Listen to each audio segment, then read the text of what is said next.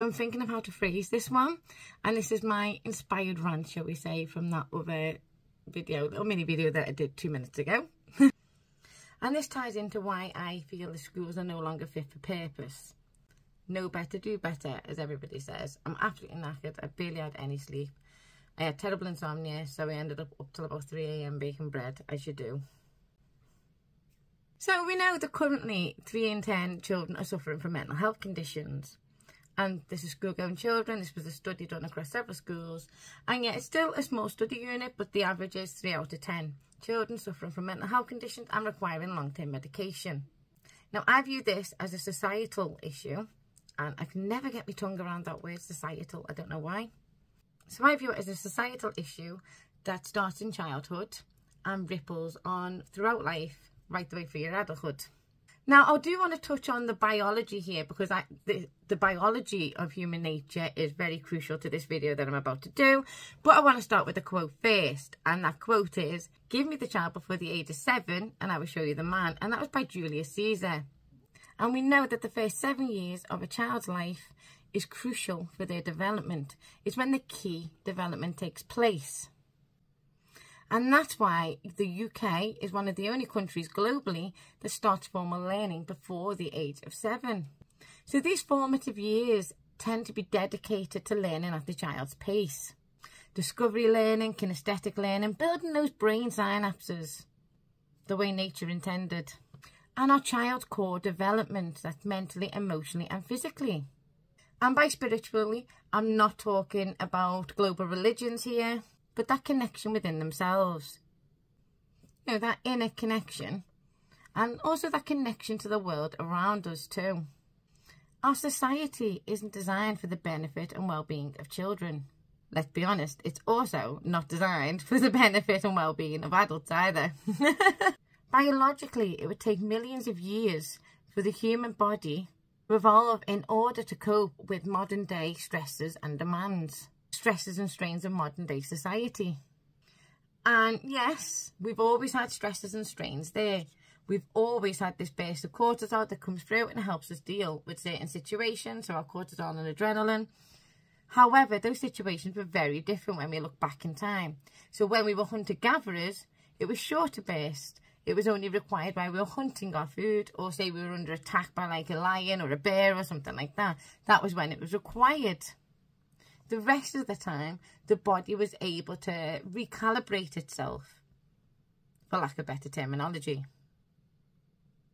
And then if we move slightly forward in time to when we were living within um, farming rural communities, smaller communities of a rural farming nature, an agricultural based community in that respect.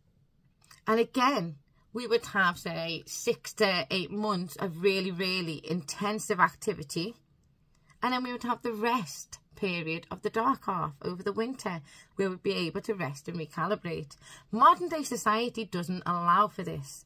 Modern day society doesn't factor that into anywhere. And not only is it adults that face these demands and stresses upon the body that modern society has brought into play, but also our children too. And their bodies have not adapted or evolved for the modern day stresses that they face. The bodies are not biologically designed for a learning by rote system to be sat behind a desk. They're not, that's not their biological imperative. In fact, it is forcing a false narrative upon them and forcing them to behave in an unnatural way. So the environment isn't actually conducive to human behaviour.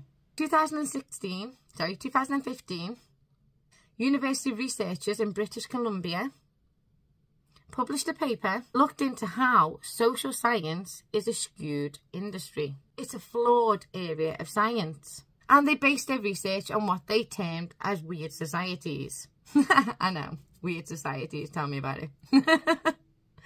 but that actually stands for Western educated, industrialised, industrialised, rich, democratic societies. I knew I'd get there. And these weird societies are not representative of human nature. And we live in a weird society. And that is because modern society doesn't reflect our biological nature. And when it comes to studying children, we focus it on the modern day view of what education should look like. The education that we tend to view and deem as normal. When in fact it's only around 180 years old. It's still in its infancy. And Carol Black actually points out that any zoologist will freely admit and state clearly that a conditioned zoo animal will not act the same as an animal in its natural environment. So to base studies based on an entire species of what we're seeing in, say, like SeaWorld, it's not going to give a true reflection of that species or the human nature. And that is what we're seeing in modern day society.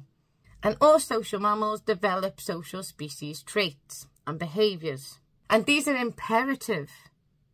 Imperative that are imperative to how we build those skills that we require for later adult life. And as mentioned before, our own species behaviour and trait took over a million years to form. It can't be changed in 180. 180 years isn't, isn't enough. Our own species traits took millions of years to develop, whereas modern day approaches are still in their infancy. And when we actually look at us biologically as a species, we were designed to live and grow and develop in small communities of mixed age groups, where children were a part of day-to-day -day life, integrated into the day-to-day -day life of the communities, and they learned in a hands-on fashion that would be guided by older children and the adults in the community. They worked as a village, a village mentality in that respect.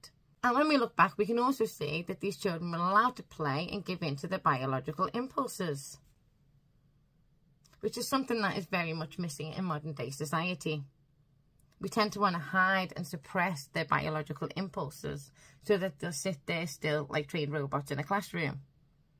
We dampen the curiosity. We prevent them from exploring. Yet that is one of the key tools that our children have. Developmental learning, discovery learning, kinesthetic learning, in developing those key skills that they're going to require later on in life. And when we also look at modern day Indigenous cultures that are still bringing in those traditional beliefs when it comes to raising their children, we can see that they're much more in line naturally with the biological impulses and needs of the child. They're still very in touch with that. We've, we've kind of separated ourselves from that and we can expect a lot more from children than they're actually biologically capable of as a result. But when we study these sociologically, we can see that these communities, these tribes, these indigenous cultures, they have a deeper understanding, a deeper connection to the biological nature of humanity. And there's much that we can learn there. Some tribes will use stories and tales and myths and legends to convey messages that they wish the children to learn. Whereas others get them involved in the tasks of the community where they're learning alongside each other alongside the parents doing the jobs and the tasks at hand. They're allowed to follow their interests too.